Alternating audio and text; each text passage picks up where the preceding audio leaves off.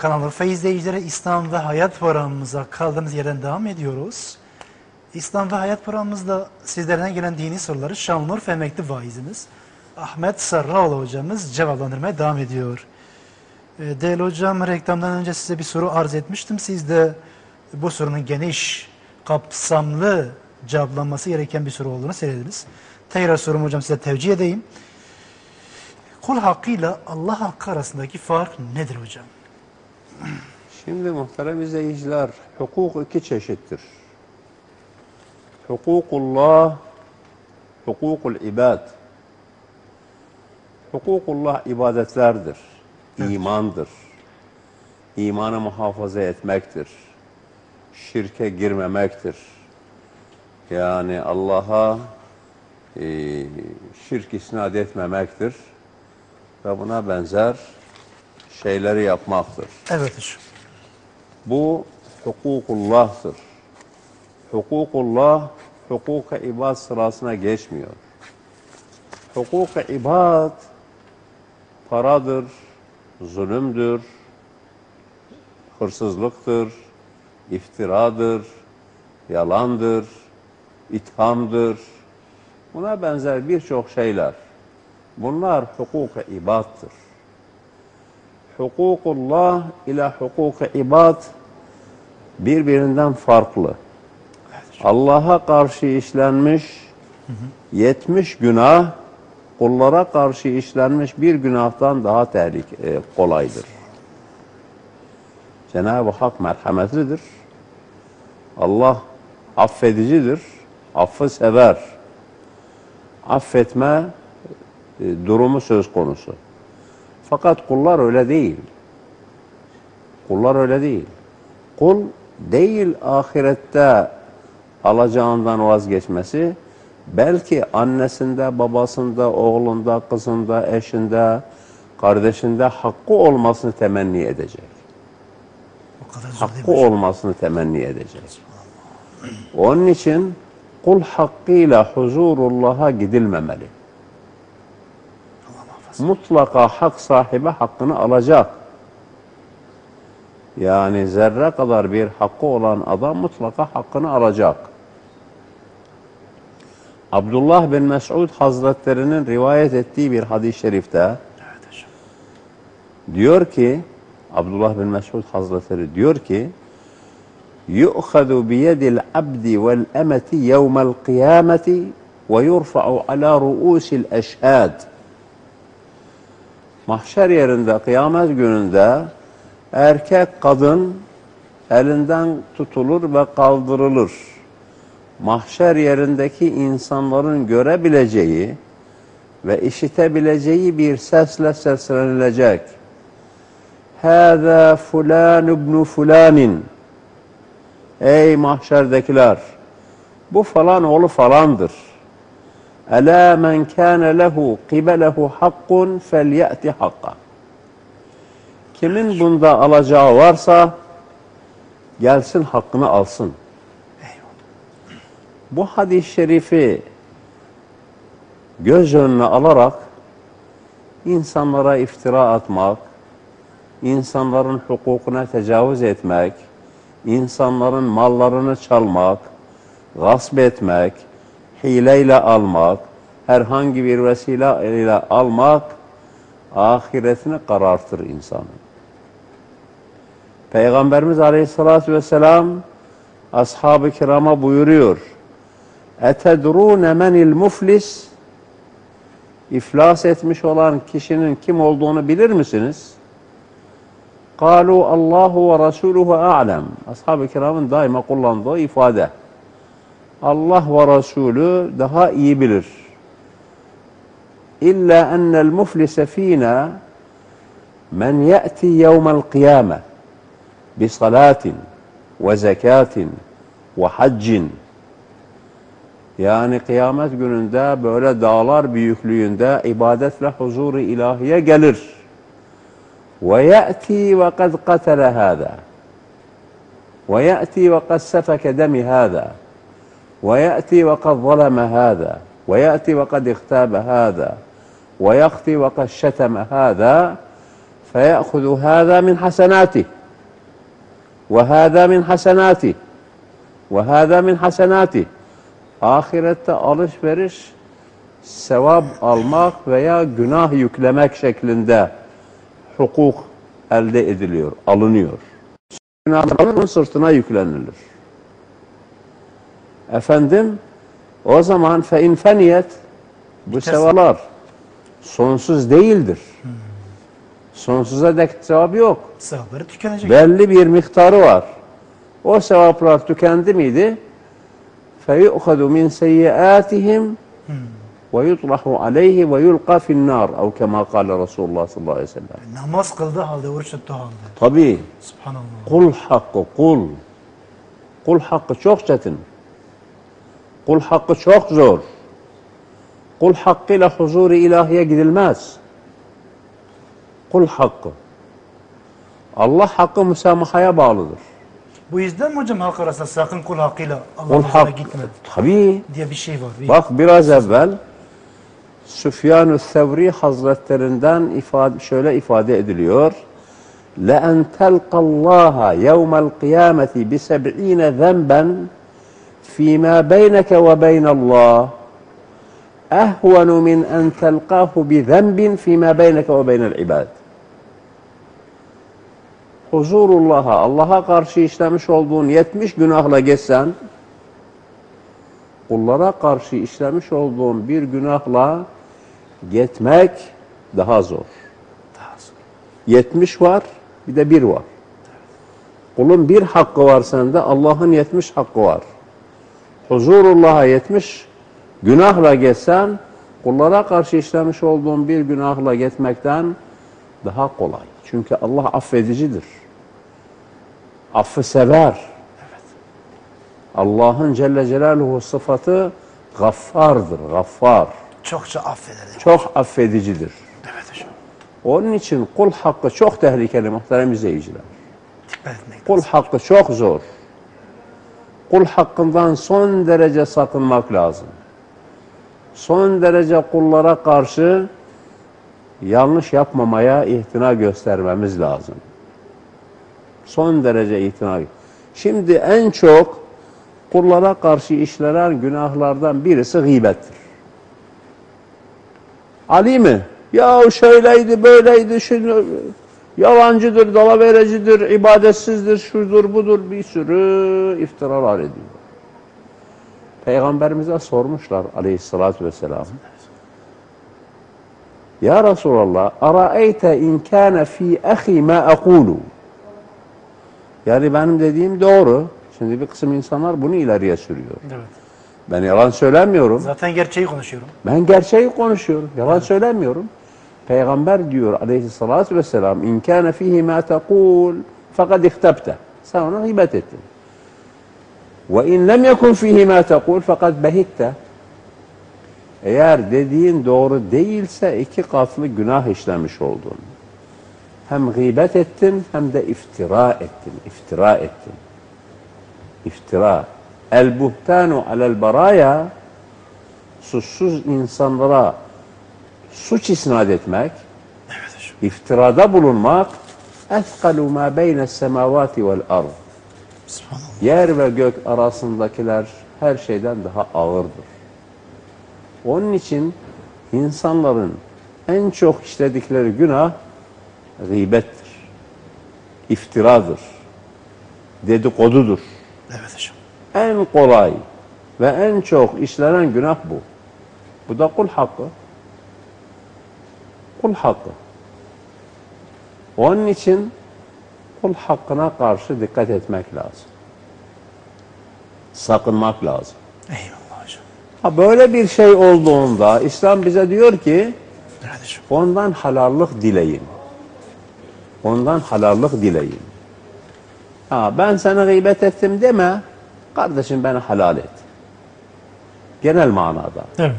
Çünkü desem ben sana gıybet ettim, şu yaptım, bu yaptım adam e, şey yapar yani hissiyatı hissiyata kapılır ve sizi bağışlamak istemez. Ama Harun beni affet. Hakkını helal et. Ha. Harun Evet. hakkını helal et. Helal ettim derse mesele kalmıyor. iş çözülüyor. Onun için muhterem izleyiciler kul hakkına dikkat edelim. Eyvallah hocam. İrtikab etmeyelim. Değerli hocam başka bir izleyicimin sorusunda evli olan kız çocuğuna zekat verilir mi? Demiş hocam. Yani babası tarafından muhtemelen. E tabii ki hocam. Soruda belirtilmemiş. Yani Herhalde babası verir mi? fakir olduğu takdirde kız çocuğuna zekat vermenin, vermemenin bir anlamı yok. Zekat innema sadakatu lil fukara Evet. vel mesakin. Evet. Fakir ise, miskin ise ona zekat verilir. Herhalde hocam babası tarafından verilebilir mi? Yani babası tarafından verilemez. Evet. Verilemez. Hanefi mezhebine göre bir insan kendi evladına zekat veremez. Fitre veremez. Üşür veremez. Çünkü insanın evladı muhtaç olduğu zaman buna el uzatması gereken birinci derecede babadır. Baba çocuğuna yardım etmeli. Evet hocam. İmkanları olduğu takdirde yardım etmeli. İmkanları olur varken çocuğuna zekat vermemeli. Ha şimdi kız çocuğudur. Hanefi mezhebine göre eğer fakirse ona zekat verilir. Verilmemesi için bir sebep yok. Kız çocuğudur. Buluğ çağına ermiştir. Ee, babası da varlıklı değildir. Yeteri kadar nafaka veremiyor. Fakirdir. Ona zekat verilir. Evet hocam. Kardeş de ona kardeş kardeşine zekat verebilir. Evet hocam. Kız kardeşidir. Fakirdir, muhtaçtır. Ona kardeşi zekat verebilir. Caiz. Evet hocam başka bir izleyicimiz sabah namazı vaktinde kılınamıyorsa ne zaman kılınması uygundur demiş. Peygamberimiz Aleyhisselatü Vesselam men nâme an salatin ev, nes, ev nesiyeha felyusalliha izâ zekeraha Bir adam namazı unutursa ya da uykuda kalırsa aklına geldiği zaman hemen kalksın o namazı kılsın. Dolayısıyla bir insan sabah namazını kazaya bıraktı. Güneş doğdu, bir boy yükseldi, kalksın abdestini alsın. O namazın önce sünnetini, sonra da farzını kaza etsin. Evet hocam. Sünnet de öğle namazından evvel sabah namazı kaza edilecek olursa, sünnetiyle birlikte kaza edilir. Çünkü üzerinden kamil bir vakit geçmemiş. Henüz başka bir vakit girmedi. Bir vakit geçmediği için sünnetiyle birlikte kaza edilir. Şayet öğleden sonra kaza etmeye çalışırsa sadece farzını kaza eder, sünneti artık kalır. Evet hocam. Sünnet o zaman kaza edilmez. Eyvallah. Onun için sabah namazı önemli bir namazdır. Önemli bir namazdır. Sünneti de önemli. Bakın Peygamberimiz Aleyhisselatü Vesselam seferde hiçbir sünneti kılmamış. Yani sünnet kıldığı e, vaki değil. Sadece sabah namazının sünnetini Peygamberimiz devam etmiş. Seferde bile ihmal etmemiş. Seferde bile kılmıştır Peygamber Aleyhisselatü Vesselam. Eyvallah hocam. Onun için sabah namazı kazaya kaldığı zaman mümkün olduğu kadar öğle vakti gelmeden evvel bunu sünnetiyle birlikte kaza etmeye çalışmak lazım. Evet hocam. Sünnetiyle birlikte kaza etmeye çalışmak lazım. İhmal etmemek lazım. Çünkü öğleden sonraya bırakırsa o zaman sadece farzı kaza eder, sünnet ihmal edilir, sünnet kalmış olur. Onun için sabah namazının sünneti önemli bir ibadet olduğundan onu öğle namazı gelmeden evvel kaza etmeye çalışmak lazım. Hadiste Efendimizin buyurduğu rak'atel fecri hayrun mined dünya ve ma fiha. Rek'ata el fecri. Rek'ata el fecri. Hayrun mined dünya ve ma fiha. Ama o sabah, namaz, sabah namazın farzı ile ilgili o. Bu farz mıdır hocam? Farz. Farzı ile ilgili bir ibadet. Eyvallah. Ben sünnet mi diyordum hocam. Biz de tavsiye ederim hocam. Farz. Değerli hocam e, başka bir izleyicimiz. Ölünün iskatı veriliyor. Bunun İslam'daki yeri nedir? İslam'da böyle bir şey var mıdır? Namaz iskatından bahsediyor hocam. Muhterem izleyiciler, ya del- deliller dörttür. Edille-i arba'a deniliyor buna. Evet. Kitap, sünnet, icma ulema, ve icma ümmet, kıyas-ı fukaha. Edille-i şer'iye dört. Evet. Kitap, sünnet, icma, kıyas. Şimdi imamlar namazın kefaretini oruç kefaretine kıyas etmişler. Oruç kefareti Kur'anca sabit. Fekeffaretuhu eee nasıldı ayet-i kerime? Yemin kefaretinde. Yok, İt'amu yok. aşereti mesi. yemin kefareti değil. فَمَنْ كَانَ مِنْكُمْ مَرِيضًا عَلَى سَفَرٍ فَعِدَّةٌ مِنْ اَيَّامِ الْاُخَرِ يُرِيدُ اللّٰهُ بِكُمُ الْيُسْرَ وَلَا يُرِيدُ بِكُمُ الْعُسْرَ وَلِتُكْمُ الْعِدَّةَ وَلِتُكَبِّرُوا اللّٰهَ عَلَى مَا هَدَاكُمْ وَلَعَلَّكُمْ تَتَّقُونَ Ee, efendim şey olarak nedir adı? Ee, Bakara suresinde Evet hocam. oruç kefareti ifade ediliyor. Ee, Fekeffaretu it'amu miskin. Efendim fakiri doyurmak. Bir fakiri doyurmak kadar ne yapacak? Tasadduk edecek.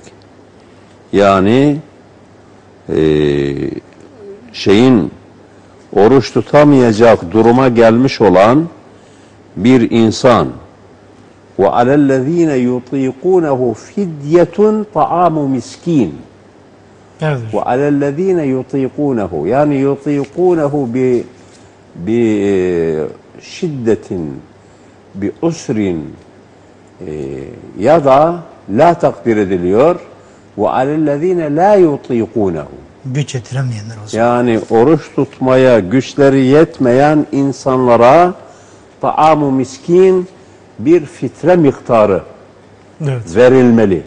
Bir fitre miktarı Hanefi mezhebine göre verilmeli. Şimdi bakın Kur'anca oruç tutamayan insanın her oruç tutmadığı gün için bir fitre vermesi Kur'an emrediyor, isteniyor insandan. Evet hocam. Şimdi oruçla namazı birbirleriyle karşılaştıracak olursak namaz oruçtan üstündür. Bedeni ibadetlerin en üstünü namazdır. İmandan sonra en kıymetli ibadet namazdır. Evet. En sevaplı namaz ibadet namazdır. Bedeni ibadetlerin şahı namazdır. Evet. E madem ki orucun böyle bir fidyesi var, o zaman namazın da fidyesi olmalı. Onu oraya kıyas ettiler fukaha ve her vakit için bir fitre miktarı o namaz kefareti olarak verilmeli diye hükmettiler.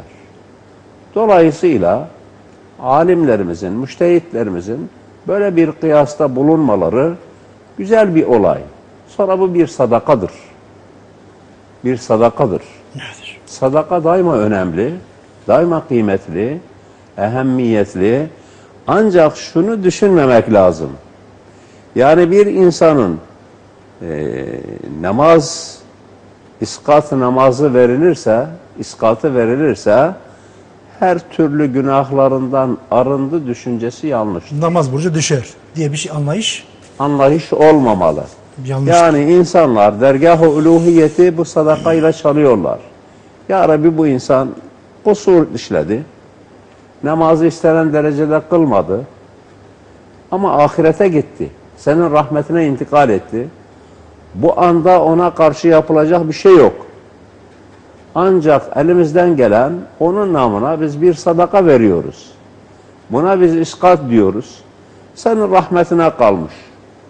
Senin merhametinden temenni ediyoruz, arzu ediyoruz ve dua ediyoruz ki ya Rabbi sen bu sadakamız hürmetine bu adamı affedesin. Evet. Rahmet-i ilahiyenin kapısını bu sadaka ile çalmaktır.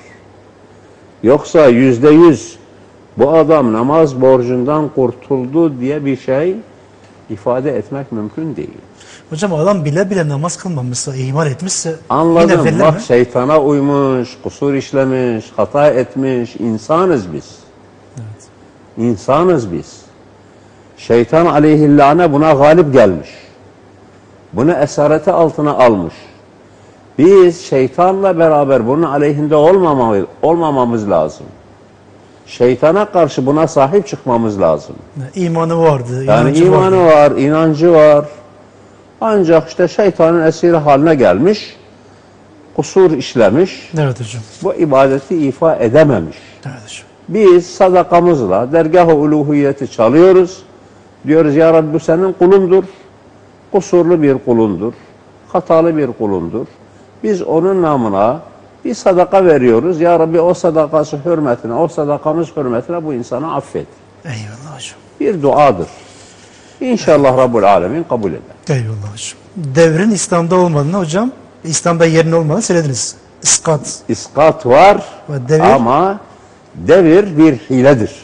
Evet hocam. hile-i şer'iyedir. Ama hile-i şer'iyenin de yani çok tutarlı tarafı yok. Evet. Sadaka ver kardeşim. Ne kadar verebiliyorsun? Bin lira. Bin lirayı ver. Söyle ya Rabbi benim elimden gelen bu. 5-10 fakir Yani yani o sana verdim, kabul ettim sana yok. hibe ettim. Gerek yok. O- Ona gerek, yok. devir O- dediğimiz şey. O çok tutarlı değil. Evet hocam. O tutarlı değil. O bir hiledir. Evet hocam. Hiledir. Ona tevessül edilmemesi daha uygun. Evet. Değerli hocam yavaş yavaş programın sonuna geliyoruz. Birkaç sorumuz var. Hızlıca hocama sorayım. Selamun Aleyküm iyi yayınlar demiş hocam. Ben eşimden ayrıldım diyor izleyicimiz. Karşı taraf bana iftirada bulundu ve yalancı şahit getirerek mahkemede beni suçlu duruma düşürdü. Ve benden nafaka ve tazminat almaya hak kazandı. Benim malımı yemeye çalışıyorlar. Bunun dinde hükmü nedir? Selamun Aleyküm iyi yayınlar demiş hocam. Muhterem izleyiciler, kanun ayrıdır, ilahi kanun ayrı. Beşeri kanuna göre tazminat verdiriyorlar, bir sürü cezalara çarptırıyorlar, bir sürü şeyler yapıyorlar. Bu beşeri sistemdir. Biz beşeri sisteme karışmıyoruz. Fakat ilahi sistemde boşanan bir bayan eğer hamileyse hamilelik süresince kocası ona nafaka vermeli. Çocuğu, Hamile- çocuğu doğurana kadar. Do- do- doğurana kadar. Ama hamile değilse bu kadını boşarsa ona bir yardımda bulunması. Ve mettu'uhunne alel muktiri alel muktiri alel musi'i kadaruhu alel muktiri kadaruhu. Meta'an bil ma'ruf. Evet hocam. Hakkan alel muhsinin. Yani kadına gönül alıcı bir yardımda bulunulması uygundur. Ona bir yardımda bulunun. Ama ömür boyu tazminat ödemek, efendim insanı hırpalayacak kadar bir büyük yük getirmek yani bu bir beşeri bir sistemdir. Yani Evet hocam. ona karışmıyoruz. İlahi sistemde böyle bir şey yok. Değerli hocam başka bir izleyicimiz de memleketimizde dilencilik artmış ve her gelen dilenci Allah rızası için diyor. Buna vermediğimiz zaman günaha girmiş olur muyuz? Sonuçta Allah'ın adını kullanıyor demiş. حديث شريف تدير كبيامر مزال الصلاة والسلام ملعون من سأل بوجه الله نبت الله رضاسي için diyen bir insan çok zor durumda değilse ona Allah'ın laneti var. وملعون من سئل بوجه الله أفندم فلم يعطي أو منع. نبت وملعون من سئل بوجه الله فمنع. Allah rızası için denildiği halde imkanı da varsa vermeyen de Allah'ın rahmetinden uzaklaştırılıyor. Evet. Onun için dilenciler cahil, hırslı. Allah rızası için dememeli. Fakirim yardım etmenizi istiyorum. Ben fakirim, muhtacım. Ve çoğunlukla Bu dilenciler fakir değil. Eğer bunlar fakir olsaydı onları geri çeviren iflah olmazdı. لَوْ صَدَقَ السَّائِلِ لَمَا أَفْلَحَ مَنْ رَدَّهُ اَوْ كَمَا قَالَ Eğer dilenci doğru söyleseydi onu geri çeviren iflah olmazdı. Ama maalesef çoğunlukla yalan söylüyor. Hocam iki sorumuz kaldı. Onları hemen hızlı sırayım bitirelim. Ee, izleyicimiz üst katta oturan komşum beni rahatsız ediyor. Evimde uykuya hasret kaldım. Uyarılarıma rağmen rahatsız etmekte devam ediyor. Bunun üzerine komşuma sert sözler ya da kırıcı sözler kullanmam günah demiş. Hayır, hayır. Eğer tahammül edemeyecek duruma gelmişsense Evet evi değiştir. Ya sat ya kiraya ver başka bir yere git. Eyvallah. Komşuyla aşağı yukarı olmak dinen caiz değil. Evet. Başka bir izleyicimiz de hocam. Binamızdaki bahçede ağaç ve çiçekler mevcut. Bunlara sürekli ben su veriyordum ama baktığımda komşularım çok duyarsız ve dinlemiyorlar. Üstüne üstelik pislik atıyorlar ve ben de bundan nefret edip bakmamaya başladım. Hayır. Bundan dolayı ben de günah girer miyim? Hayır bakmak lazım, uyarlam, uyarmak lazım. Komşulara şifahi olarak bu bahçe hepimizin bahçesidir. Hepimize e, güzellik aksettiriyor. Buna bakalım değil siz de su verin, sevap kazanın, onun zikrine ortak olun. Son bir soruyla hocam gençler işaret ediyor. Bizim mazur gören izleyicilerimizin soruları cevapsız kalmaz. Bitiriyorum hemen bu soruyla. Hocam fıstığın tonu şu an 15 milyar gelecek sene 25 milyara versen faiz midir demiş izleyicimiz. Faiz değildir ama insaf sınırlarını aşıyor. Evet. Faiz değil fakat insaf sınırlarını aşıyor bu. Evet hocam. Faiz değil çünkü bir tarafta fıstık var bir tarafta para var. Bu faize girmez fakat insafsızlığa girer. Biraz aşırı kar değil mi hocam? Aşırı derecede fark var. 15 lira da değildir yani. Ya belki de kurusu 15 lira olabilir ben ona bir şey demiyorum Eyvallah ama hocam. doğru değil. Hocam Allah razı olsun. Cenab-ı Hak ilminizi ziyade etsin. Muhterem izleyicilerimiz bu hafta İslam ve Hayat programının sonuna geldik. Cenab-ı Hak nasip ederse haftaya aynı gün ve aynı saatte tekrar buluşmak ümidiyle hepinizi Allah'a emanet ediyoruz. Hayırlı akşamlar efendim.